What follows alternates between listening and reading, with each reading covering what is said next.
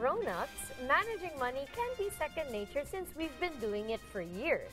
But for teenagers, understanding how money works can actually be as foreign to them as another language. That's why as parents, it's not only our role to be a guardian, but a financial advisor too. And it's lucky that we have both a financial advisor and a fellow parent with us here on Adobo Nation today. Welcome back, Rod. Salamat, Mishi. Rod, ilang taon na ba yung anak mo?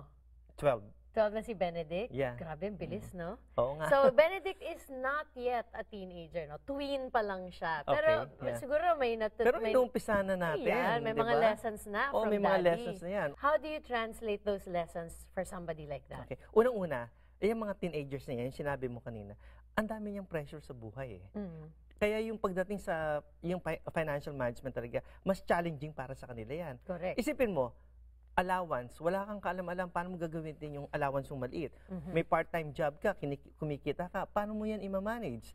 Or yung mga peer pressure na tinatawag, yung mga kaibigan mo, may mga magagandang gamit, lahat yan, kailangan niyang matutunan paano niya ima-manage. Mahirap maging teenager. Oo, tulad in mo. other words. Tulad ko, exactly.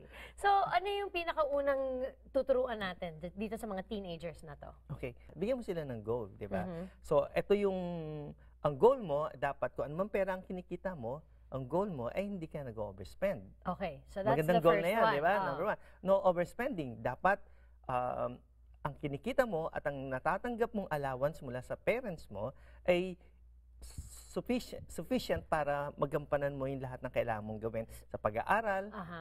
di ba? Kasi nag-aaral ka rin eh. So this is, uh, yung pinapag-usapan natin is a budget. So there's a goal, there's a budget. Correct. As usual, ano bang priority? Dapat yung Kailangan. needs, yung kailangan, Oo. hindi yung wants, di ba? Mhm. So that that goes into how to spend and how to save also, di ba? Oo.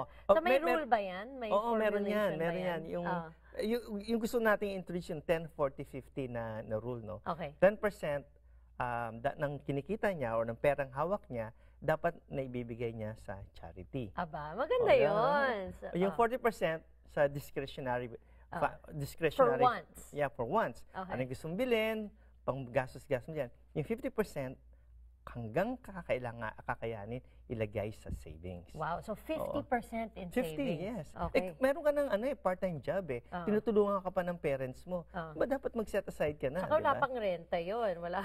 Oo, Di di ba? Hindi ba? ka pa nagbabayad ng mga rent Pati or gas. phone bills. Exactly. Di ba? So, okay. 10, 10 40, 50. Okay, Mm. maganda yan. Tapos, um, ano namang opinion mo sa credit cards and debit cards pagdating sa teenagers? Ako, ang teenagers, hindi ko muna bibigyan ng credit card. Hanggang talagang nakita ko na responsible na siya sa paggastos. Okay. Okay? So, on the onset, habang tinuturuan mo siya, debit card ang gamitin mo. Kasi pag wala ng pera, wala na talaga. Oh yeah, pag nakita niya, oh, $10 na yung pera ko, titi- titigil na yan. kaibigan." Pero pag credit cards, ang bilis eh, di ba? Walang Correct. ano, wala, sabi nga natin, ang, ang credit cards dapat may responsibility at may Mm-hmm. discipline na requirement dyan. Kung hindi mo nagagampanan, mahirap Eh, para maski sa mga naman bata. as grown-ups, nahihirapan sa credit cards. What Oo, more kaya pa nga as minsan nga, teenager. 50 years old na, ang dami pang credit cards na, di ba? Ah, so, mga teenagers dyan, para hindi kayo maging kliyente ni Rod, makinig na ngayon pa lang. Okay, Rod. If they, I- and I imagine the parents might have questions. No? So, kung may mga katanungan pa yung mga kanation natin, sa kayo mahahanap? Mga ka-nation, kung hindi man kayo makatawag sa amin, maraming librong pwede ninyong basahin. Pero kung kailangan talagang tawagan kami, 1-877-973-3287.